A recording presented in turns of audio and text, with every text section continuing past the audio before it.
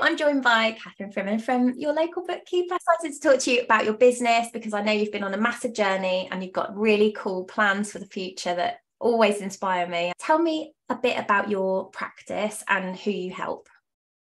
So I run a bookkeeping practice called Your Local Bookkeeper, which is based down in Surrey. And um, there's three of us on the team, and we focus on businesses with a sustainability angle. So they might be businesses that are providing services to other businesses that are sustainable or are trying to be more green and sustainable themselves. The main thing that our clients look for is really visibility over their numbers. They are not number people most of the time. A lot of them are creative and the thought of numbers scares them.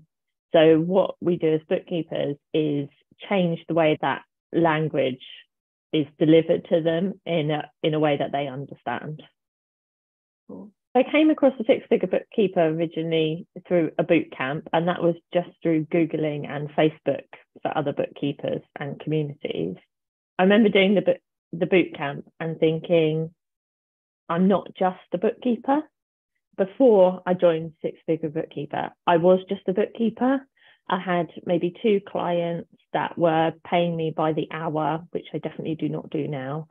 And I wasn't really valuing myself as a business owner. I was just ticking along uh, almost like a hobby, basically. But the course has changed the way that I view, and I now work as a business rather than someone, an employee for other people doing their books. The biggest achievement of doing the six month success program is definitely getting to the end of it and realizing that you've made those changes.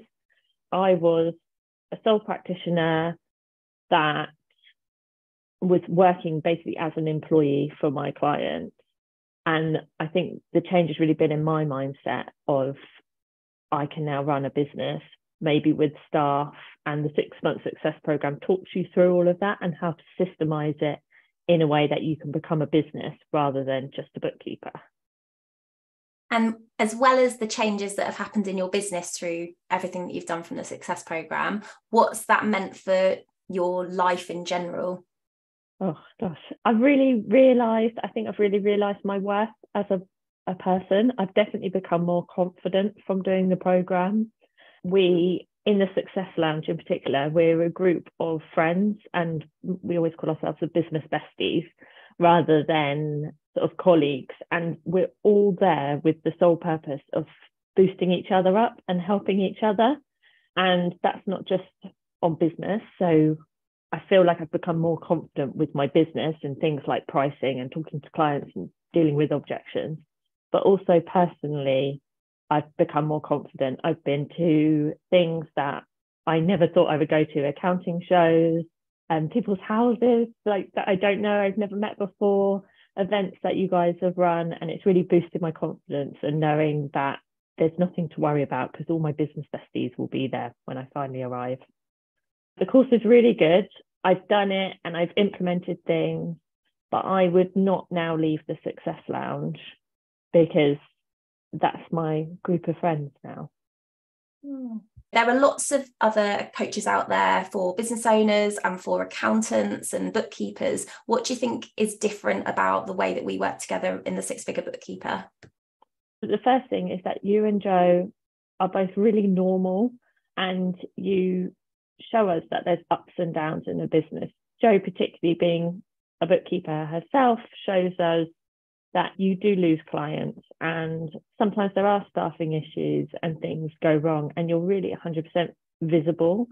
Um, and also it's not just about sales and growing the business it's about creating a business that works for you. So you might not be a six figure bookkeeper and definitely not a six figure bookkeeper but my business works for me in terms of my lifestyle. So balancing it with childcare, with health issues, with everything else that goes on in the world. And that's what makes you guys different is you realize that the value isn't necessarily just the money, it's everything else that goes on it to make you have a balanced life. Oh. Jo is always she's an oversharer. So she's always telling us things that have happened. And also, one of the best things is that you just turn up. I remember the first kind of boot camp I went on, you turned up with some bongos. Jo turns up with her Kylie wine, and it's really relaxed. And yeah, it's brilliant you've got loads of stuff going on at the moment. I know like you're a big advocate for sustainability. You're like my go-to person for that definitely. And i know that you've got lots of great ideas and projects and you're collaborating and working with other people in this space who can help businesses be more sustainable and just improve. What are you working on now? What what does the future look like for you?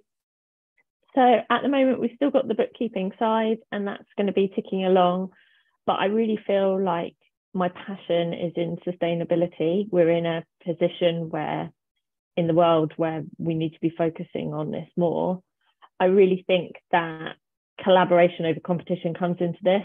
I, what I want to do is collaborate with other accountants and bookkeepers to make sure that they're thinking about sustainability in their practice, not just from an environmental point of view, but actually from a money making point of view. There's a lot of opportunities in this in terms of reporting for companies and things like that. I'm currently putting together a course for bookkeepers and accountants to get to grips with the basics of sustainability. So, the jargon busting, little things that you can do to help and measure your carbon footprint, which then hopefully they can then offer as a service to their clients and make money from it. Mm-hmm. If you think how many bookkeepers and accountants there are in the UK, if everyone made one small difference and their client made a small difference off the back of that a massive change